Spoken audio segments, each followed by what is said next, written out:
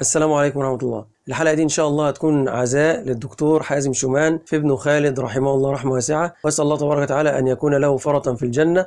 وأسأل الله تبارك وتعالى أن يصبر الدكتور حازم وأن يربط على قلبه وأن ينزل السكينة عليه وعلى زوجته وأن يعوضه خيرا. وأقول له كما قال رسول الله صلى الله عليه وآله وسلم اصبر واحتسب أقول له إن لله ما أخذ ولله ما أعطى وكل شيء عنده بمقدار فاصبر واحتسب وأقول لكل إنسان مكلوم كل إنسان مصاب كل إنسان مبتلى إما مبتلى بفقد حبيب أو مبتلى بمرض أو مبتلى بأي ابتلاء. أذكره بقول الله تبارك وتعالى وبشر الصابرين الذين إذا أصابتهم مصيبة قالوا إنا لله وإنا إليه راجعون. أولئك عليهم صلوات من ربهم ورحمة. وأولئك هم المهتدون. يا أيها المبتلى أبشر فإن الله تبارك وتعالى يكفر عن سيئاتك ويرفع من درجاتك.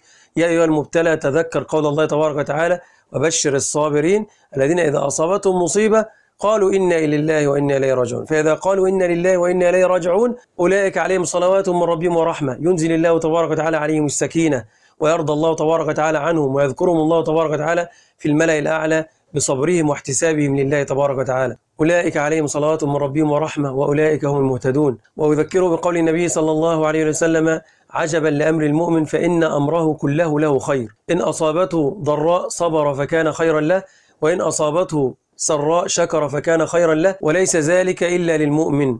فالإنسان المؤمن إذا ابتلي بالسراء شكر الله تبارك وتعالى وحمد الله على النعمة. وإذا ابتلي بالضراء صبر واحتسب الأجر عند الله تبارك وتعالى فيرضى الله تبارك وتعالى عنه ويعوضه خيرا ويكفر عن سيئاته ويرفع من درجاته. وقد قال النبي صلى الله عليه وسلم ما يصيب المسلم من نصب ولا وصب ولا هم ولا حزن ولا أذى حتى الشوك يشاكها إلا كفر الله بها من خطاياه. والابتلاء سنة الله في خلقه. انظر إلى قول الله تبارك وتعالى الذي خلق الموت والحياة ليبلوكم أيكم أحسن عملا. وقال الله تبارك وتعالى يا أيها الإنسان إنك كادح إلى ربك كدحا فملاقيه. وقال الله تبارك وتعالى لقد خلقنا الإنسان في كبد. فالإنسان في مشقة وفي كبد وفي ابتلاء.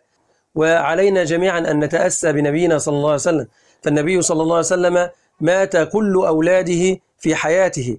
ولم تبقى إلا فاطمة رضي الله عنها وكان يعلم أنها ستموت بعد موته صلى الله عليه وسلم بعدة أشهر. ومع ذلك صبر النبي صلى الله عليه وسلم واحتسب.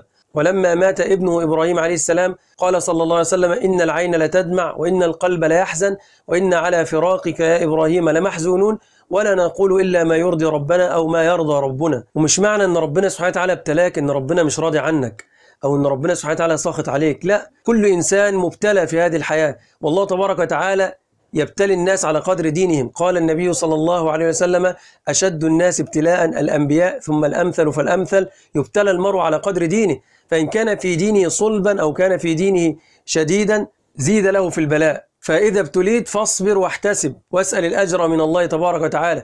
واعلم أن النبي صلى الله عليه وسلم قال من ابتليته في صفيه فصبر فليس له إلا الجنة أو كما قال صلى الله عليه وسلم. صفيه يعني حبيبه يعني لو مات الإنسان حبيب له سواء كان ابنه أو بنته أو أخته أو زوجته أو أي حد بيحبه ثم صبر واحتسب الأجر عند الله تبارك وتعالى ليس له جزاء عند الله تبارك وتعالى إلا الجنة. فاصبر واحتسب واسأل الله تبارك وتعالى أن يربط على قلبك واسأل الله تبارك وتعالى أن يجعل ذلك في ميزان حسناتك.